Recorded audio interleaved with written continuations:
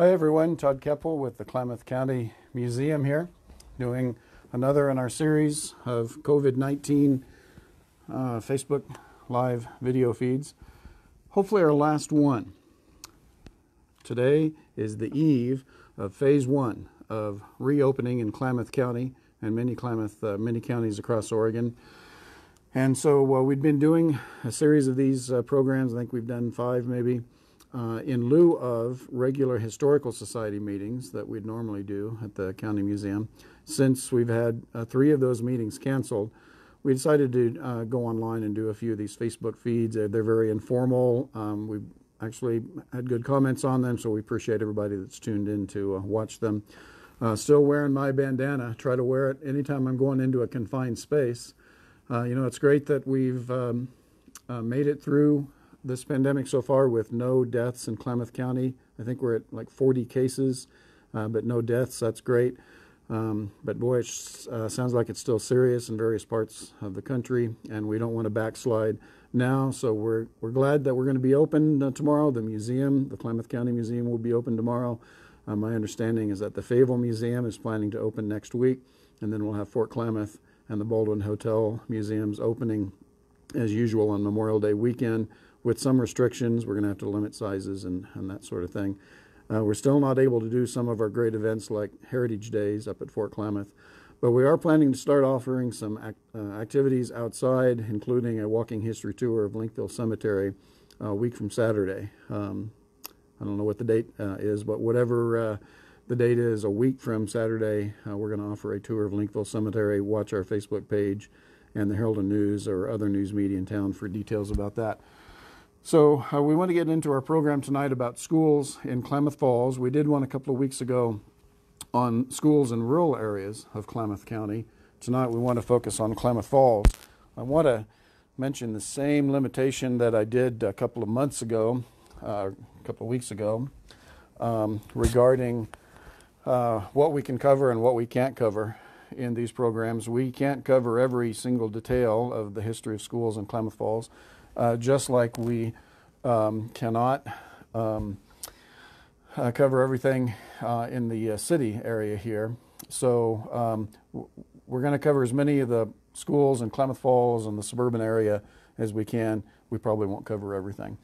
So it's great to see we've got almost 40 viewers here and a lot of you saying hello. Uh, Kurt Lidke uh, helped me out with a sound check a couple of nights ago so we could make sure that our, uh, our microphone was working properly and Lynn LeBlanc, see you there, and lots of other people too. So thanks everybody for tuning in. So um, we're going to start with this drawing of the schoolroom. I wonder if anybody recognizes it. This is an artist's rendering uh, of what the first school in Linkville might have looked like. Uh, we don't have any pictures of that first school. Uh, this picture was drawn uh, back in the 1940s by James Floyd. Uh, he's the father of Jimmy Floyd, who is still here in town, at least as far as I know. Uh, Jim Floyd uh, Sr. collected a lot of photos and did a lot of great historical work, and he drew this photo based on a description of an old timer who had gone to the school. And so this, uh, this building was uh, about where the medical dental building is now at 9th uh, and Main Street. There is a little knoll right there, just a little bit of a rise, and you can kind of see that in the background of this drawing. So we think this building was probably built maybe in the 1870s and stood um, until around 1890 when the community built a second school building, much larger to accommodate the growing population of Klamath Falls. And so this became uh, the school that served the community, I think around 1890 and into the early 1900s. You can see uh, quite a sizable student body there. And I uh, wish we could get a close-up look at all the students in here. This is actually a fairly good uh, photo. Um, we don't have any identifications of the people in here, but at any rate, this building stood where the earlier school building had stood at the corner of, uh, near the corner of 9th and Main Street. As you can see, a very impressive building, uh, two-story building with a, a, structure on top that might have been called a belfry, um, might have had a school bell inside there, or it might have been called a cupola, uh, not sure. Hey, there's Bob Perrin signing in. Uh, I think Bob lives somewhere in the East Coast. Uh, he's the, uh, if I have him right, uh, the son of Howard Perrin, one of our famous architects. Probably, well, one of the two most famous architects we've had in Klamath Falls. So thanks for signing in, everybody. All right, so this school stood until 1905 when Klamath Falls had to build yet another new school. And so, in that same place, the third school building to rise was this one. This became known as uh, Central School uh, because other schools were built around the community in various places, but this was still the Central School in the downtown area. Looks like there's a parade getting ready to happen on Main Street. Uh, in the background, off to the right hand side there, you can see where the old school building uh, was still standing at the time that they uh, took this picture. So they picked up the old two story building, uh, jacked it up, and probably moved it onto skids or some such, and um, took it up to the corner of 10th and Pine Street and set it down there, and that building continued to serve as. Um, as an apartment building for many years until finally uh, Doc Graham, uh, Dr. Uh, Graham, the ophthalmologist, um, built his office building there, probably around, I don't know, 1960 or so. And so the old school building uh, and apartment house finally uh, came down. Uh, it actually outlived the stone building that you see here, the, the new building that had been built in 1905. this impressive stone building that you see here didn't last all that long. It was torn down in 1929, I believe it was, in order to make room for the Oregon Bank building, uh, the very impressive uh, six story structure that uh, we now know as the Medical Dental Building. But at any rate, this was the third school building to serve uh, the town of uh, Klamath Falls. Very impressive structure. Built in 1905. Also built in 1905 was a high school to serve the community. And that's the building that you see here. This structure stood up on uh, the hillside above the downtown area. It was between North 5th and 6th Streets above Pine Street. If you're familiar with where uh, the Grandview apartments are now, uh, that is uh, just about exactly where this building stood, constructed in 1905 uh, with some really beautiful uh, architecture here almost looks like some kind of a castle, doesn't it? And again, with a, a belfry on top and a flagpole. Uh, no flag on it in this photo, but uh, very impressive structure. We've got another photo that shows you a better view of that part of town, including where that structure stood. So in the foreground of this photo, we can see Main Street uh, down here. Main Street runs right along the the lower left-hand portion of this photo. And so uh, let's see, this would be uh, 7th Street running across the photo here, and 6th Street runs across the photo uh, going up the hill uh, this way. And so between 5th Street and 6th Street and above um, Pine, and actually looks like above High, um, was the old Klamath uh, County High School. Let me adjust the camera here and give you a better shot. So as you can see, it uh, really made a statement on the landscape uh, here. could be seen from miles away, and of course the view from on top of the school building there was uh, was really terrific. The school had a number of problems. Uh, the old Klamath County High School. It uh, was considered to be a little bit of a fire trap. Um, fire safety uh, was coming along in uh, the early 1900s, and this school was lacking in that regard, and uh, so there was a problem there. And then also the school was just uh, was not large enough to serve the growing community. In the 1920s, once the railroad had arrived, Klamath Falls really started taking off and growing fast, and there was uh, definitely a need for uh, for more schools. This photo shows the uh, the view of the town as seen from above Riverside Drive and looking towards the northeast. We see Link River here emptying into uh, Lake Ewauna. And so this area right in here would be where Veterans Park is today. We can see the Baldwin Hotel building uh, right there. And so looking down the street here, we see Main Street right along here, and this would be Klamath Avenue and uh, Pine Street. is back here. And so we can see both of these impressive school buildings constructed in 1905. Up here in the very up, uh, upper left-hand corner is the Klamath County High School. And then way off in the distance back here is uh, the, uh, the Central School. And it's probably not going to show up very well on your screen, but right, right behind it we can actually see the old school that became the apartment building. Uh, we can also see the White Pelican Hotel here that had been built in 1911. So we can date this photo probably somewhere right around 1911 um, to 1915. Uh, we can see Esplanade Avenue going up into the Pacific Terrace neighborhood. And so this line going across the screen right here, that's Pacific Terrace. Uh, no homes, not very many homes at least on Pacific Terrace at that time. So these two uh, large school buildings constructed in 1905 uh, really dominated the cityscape at that time. Not long after those two schools were built, another new school uh, appeared on the landscape, and that was Riverside School. There's probably some people around that might have gone to this school. It uh, was built in 1910 up on the hill above Riverside Drive and uh, served the community for many years until being closed in 2003. It briefly housed a Link River High School, an alternative high school, from 2008 to 2011, but then the school district uh, sold the property and went into uh, private ownership. I think I saw Lillian Belsky's name appear as one of our viewers, and so she, um, I'm sure, knows quite a bit about uh, about this building. It's her husband that uh, that Holdhoffen bought this building, and uh, so of course we're all eager to see what he's going to do with it. In uh, our next photo, you'll be able to see a view of the town as it would have appeared from Roosevelt, or excuse me, Riverside, uh, Riverside School here.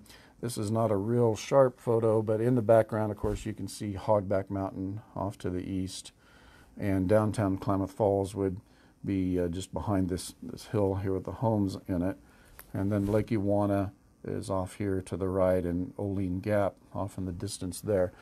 Very impressive uh, view from that school, and the grand staircase that went from the uh, front doors of the school up to the, the main uh, second floor here. The, the view from those stairs looking out those front windows is really a terrific view.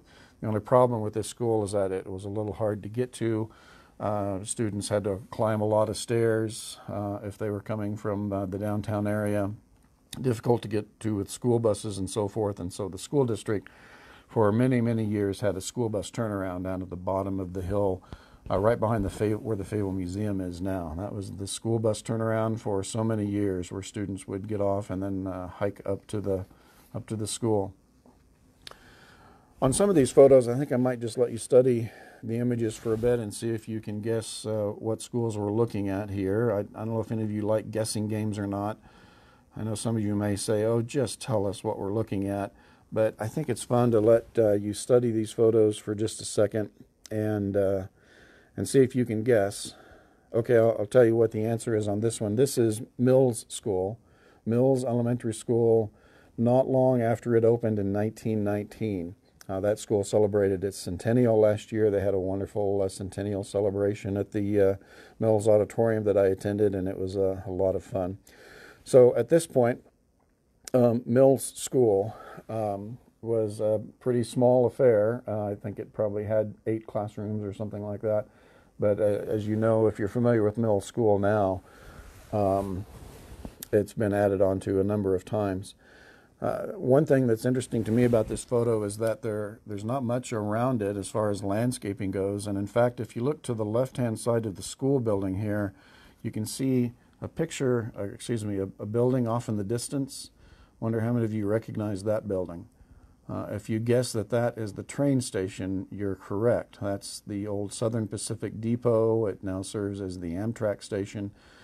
And it's about a quarter mile away from Mill School. And so at the time this picture was taken, we just see that there's open countryside between Mill School and the railroad tracks at the train station there. Of course, there have been a number of homes built and a lot of trees planted over the years, so you wouldn't get that view uh, today.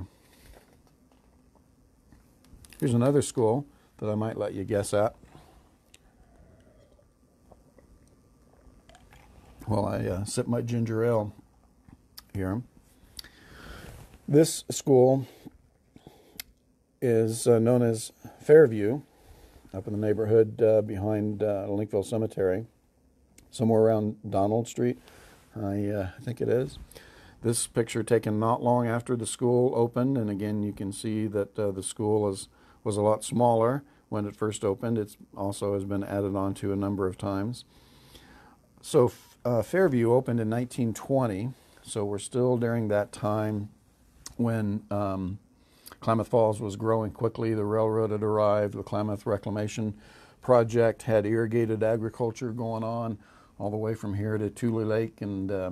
I just saw Ryan Bartholomew comment there. So, Ryan, a big uh, howdy to you, and also uh, Bill Anderson, uh, Gabby here. Appreciate you uh, uh, tuning in every time we have one of these programs, Gabby, and hope to see you back at the museum soon. So, at any rate, here's Fairview School with the student body out front. there's some really great expressions on the kids here. I wish we could zoom in more on that. I don't have the ability to do that with this the setup that we have here this evening. This photo, I believe, uh, still hangs at Fairview School, even though the school closed in 2013 and was taken over the following year by the Klamath Falls YMCA. They have a picture, uh, it may be this very picture or one very similar to it that still hangs in the office up there at the old Fairview School, uh, now used by the, the YMCA. Our next photo shows a school that opened just a couple of years later in 1922. This one is Pelican. We showed a couple of photos uh, last time, uh, um, a month ago, when we did rural schools. We showed the Shippington School that stood about where the JELD-WEN offices are. Uh, this school took the place of the Shippington School and uh, was known as um, Pelican and is getting ready to celebrate its centennial uh, opened in 1922, so their centennial is coming up in just a couple of years. And let's see, what have we got here next? Yeah, some of uh, you folks watching might have gone to this school. A great uh, amateur historian, local historian, uh, taught at this school. Buena Cobb Stone uh, taught at this school. And I know I've talked to uh, Bob Pallies a number of times about Mrs. Stone, what a wonderful teacher she was. So this was Fremont School, which opened in 1925 as an elementary school. It took the place, basically, of the old Central School that had been down on Main Street. And so this school, uh, located on um, High Street, it's uh, cat a corner from the, the old Esquire Theater, now the Ross Ragland Theater. And so this building uh, still stands, at least most of it does. Um, at some point, the uh, First Baptist Church acquired this property after the school closed, and they built a sanctuary on the northeasterly end of this property. But this photo is from very early in the um, the school's life, the Fremont uh, school's existence. The school opened in 1925, and this picture was taken not long after that. We know that because when we look at the far right edge of this photo, we can see the old Sacred Heart Catholic Church, the old wooden church that had been up by Fairview School, and then again it was jacked up and brought down uh, 9th Street and then over to uh, the corner here of 8th Street and plopped down on the corner, uh, replaced by the beautiful stone uh, or brick uh, church that still stands uh, at Sacred Heart to this day. So we know this picture was taken sometime after the school opened in 25 and before the new Catholic Church was built in 1930. All right, let's see what's next. Okay, everyone should recognize uh, this school. This was the next school constructed in Klamath Falls. Uh, after Fremont came Klamath Union High School. It took the place of the old Klamath County High School. So, where we, uh, in the old days, we had this school from 1905 to 1928. Uh, this school was abandoned and replaced by Klamath Union High School, which opened in uh, 1928. Uh, this old school, by the way, stood for many years up on uh, the hill above the downtown area into the 1940s, maybe um, early 1940s, I think it was, before finally they got around to tearing this school down. And uh, the property sat vacant for a number of years until uh, the Grandview Apartments were built, whenever that was. Um, what, 1960s, uh, maybe? Well, anyway, here's an early photo of uh, Klamath Union High School. Uh, we've covered that in uh, other programs, and so I'm not going to dwell a whole lot on Klamath Union High School. Obviously, it's before uh, the gymnasium was added uh, a few years later, 1930s, I believe, and before the cafeteria and music room addition was added. Um, the old uh, Carnegie Library would have been just off to the left-hand side of the view here. So there's an early day view of Klamath Union High School. Uh, some of you that know your local history will know what stood on this site before Klamath Union uh, High School was built. Uh, I can hear some of you saying to yourself, oh, it was the site of the old Hot Springs Courthouse. And uh, you're correct. This is the building that had been started in 1912 by Klamath County government and was maybe a little bit more than half finished before it became the subject of a fierce controversy. Couple of county commissioners got recalled. Uh, the project was abandoned. Uh, the county ended up starting another new courthouse downtown.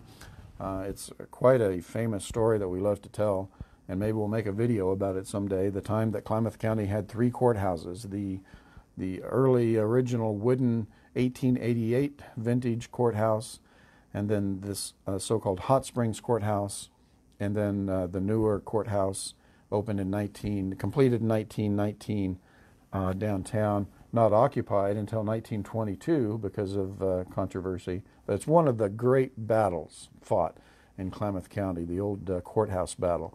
Well, finally, this property was acquired by the school district, and uh, this grand, beautiful structure that was to have been our county courthouse was torn down in 1927, I think it was, and then in 1928. They built uh, Klamath Union High School, and it was ready for occupation that year. Uh, the very next year, this new school was opened, 1929. Many of you will recognize Roosevelt Elementary School, constructed um, right below the K on K Hill. Uh, a trivia question that we love to ask, and some of you should know the answer to this. What school was it that was responsible for, for creating the K up on the hill? I know for many years I assumed that K was for Klamath Union High School, but it was actually created before KU came into existence. Um, Klamath County High School was still serving the community at the time the K was, uh, was built up on the hill. All right, I'm going to let you study this photo for a while. And see if you can guess what school that is.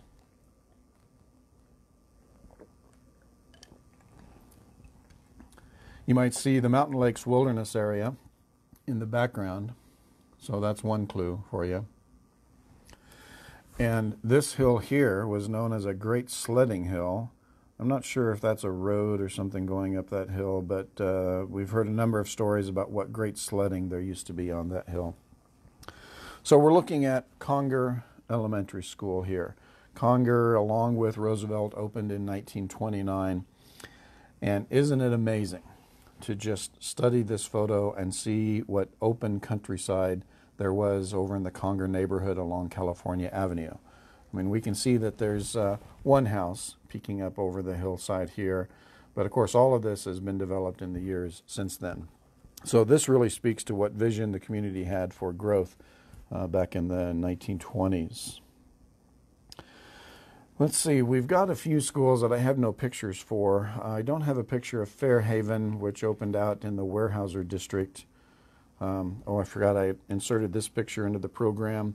Uh, this is um, Mrs. Mills' third grade class at Conger Elementary School, April 1954.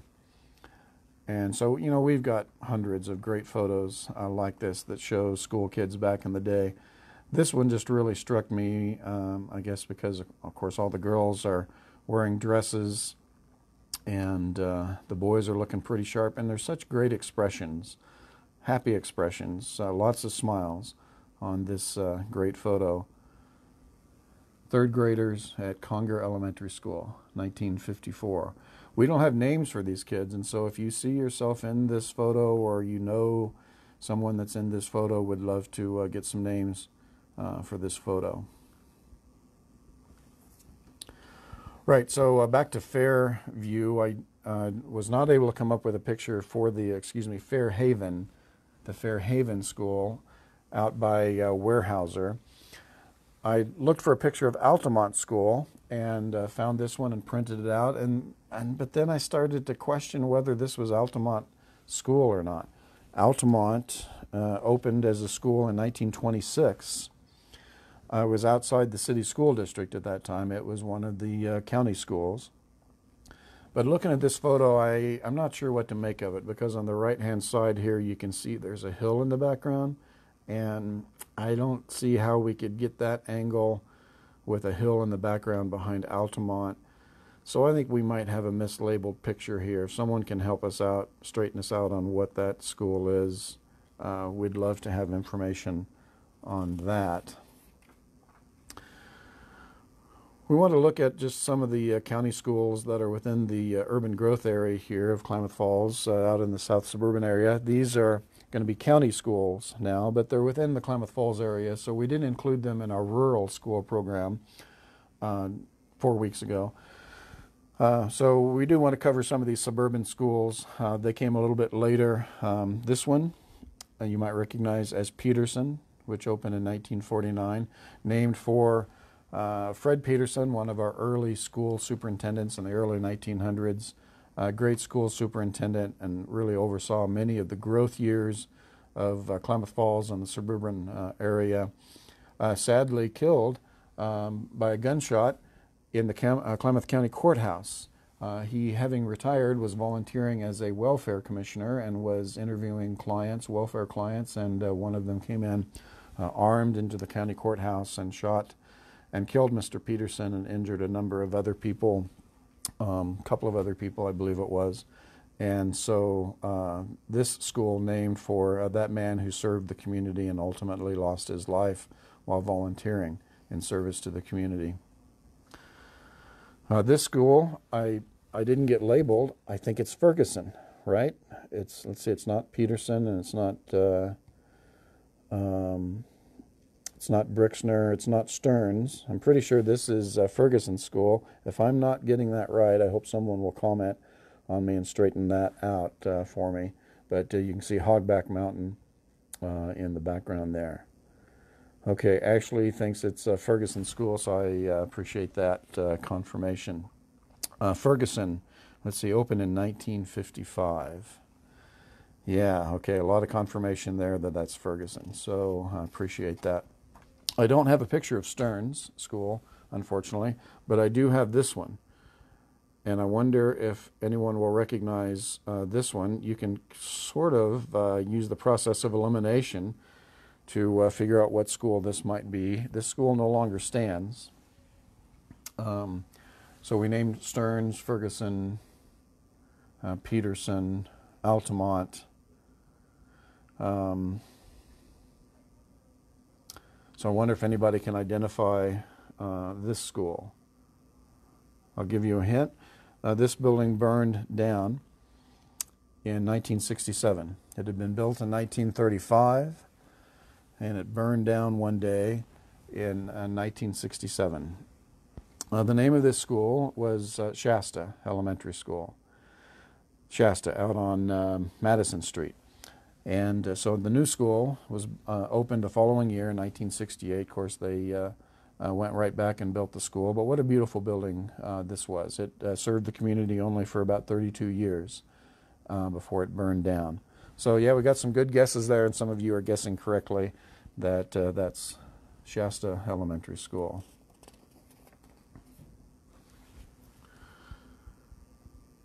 There have been a number of uh, private schools, parochial schools, um, Christian schools in town, and so you might recognize this one. I wonder if there are any alumni of uh, Sacred Heart School uh, watching this evening.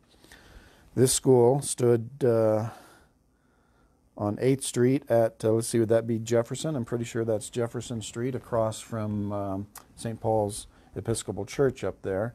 So this uh, school I didn't get a date for when this building was constructed. I know it was our first um, private uh, religious school in town, established by uh, the Catholic Church As early as 1917, records indicate uh, Sacred Heart uh, had a church, uh, excuse me, a school here in town. And so this uh, building, built not long after that, one of the things I love to show about this photo, and I've shown this photo in a number of programs over the years that I've been with the museum, but I love the swing set in this photo. Uh, that's when they really knew how to build swing sets. A nice high swing set. I bet you could really get uh, a swing going on that thing. And notice that this swing set is equipped with a ladder. Yeah, Lynn LeBlanc picked right up on that uh, a ladder. So, you know, when I was a kid, we had to shinny up the poles, which was hard for me. I wasn't that good of a climber. But uh, this one actually had a ladder, and man, look at the kids sitting up on top of the pole, uh, the crossbeam there, and sliding down the pole, and of course the nuns uh, down here in the foreground, not seeming to care. This is a scene that I dare say you would not see at local schools today. I mean, first of all, they don't allow swing sets to be built nearly this high uh, these days. And of course, uh, kids wouldn't be allowed to climb up on the beam uh, like that. But what great fun it must have been at uh, Sacred Heart School. This photo probably dating, uh, I want to say, to pretty early 1920s or 30s or so. Here's another photo that's going to show uh, the Sacred Heart School. This picture taken a little bit higher up on uh, uh, Jefferson Street, if I have that right. You'll notice that um, St. Paul's uh, Episcopal Church has not been constructed yet.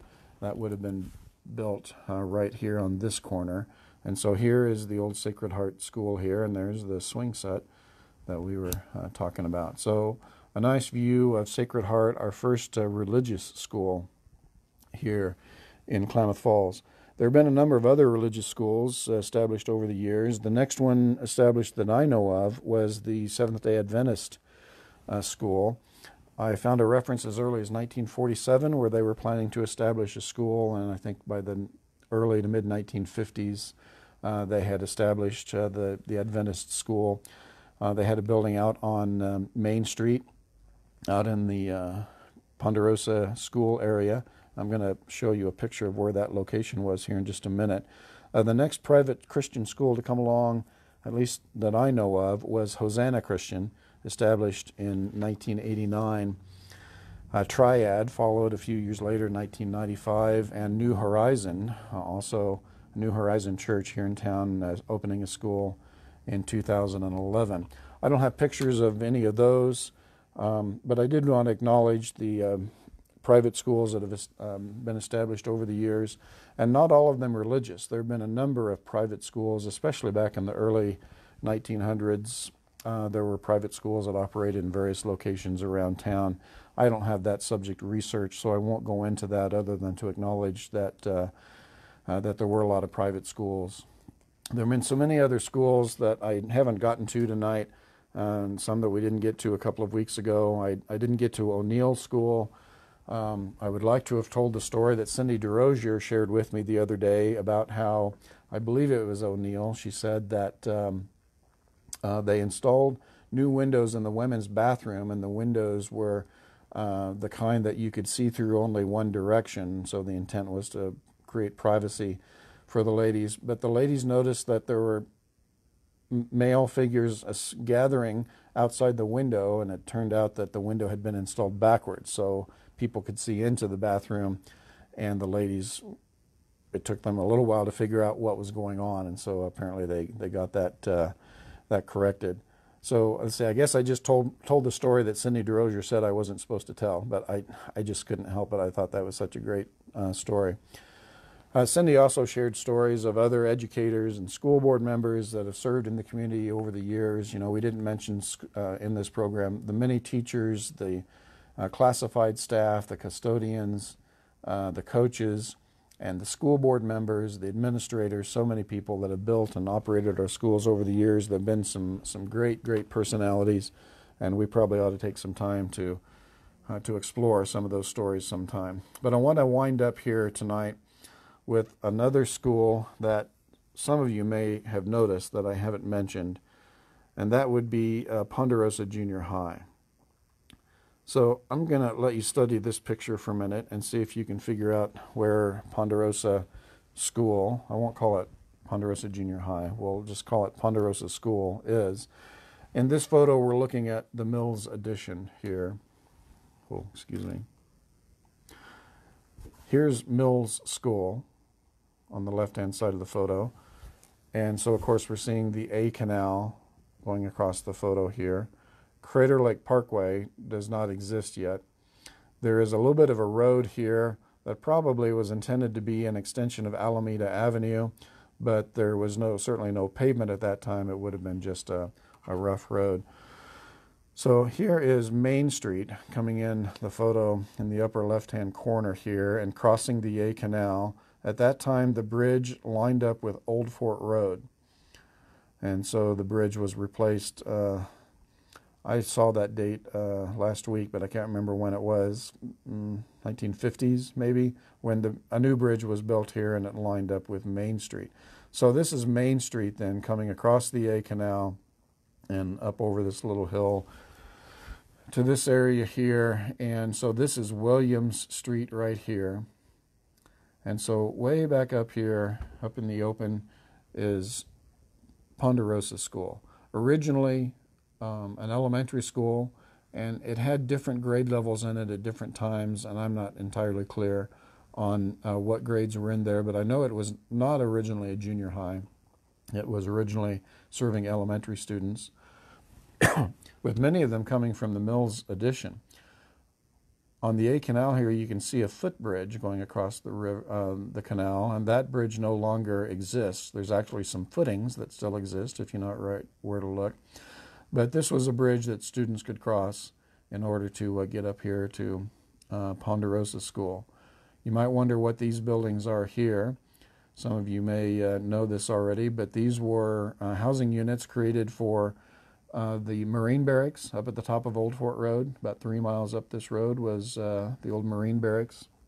And so this was created for housing for folks that were either working at the Marine Barracks or perhaps related to someone who was uh, at the Marine Barracks.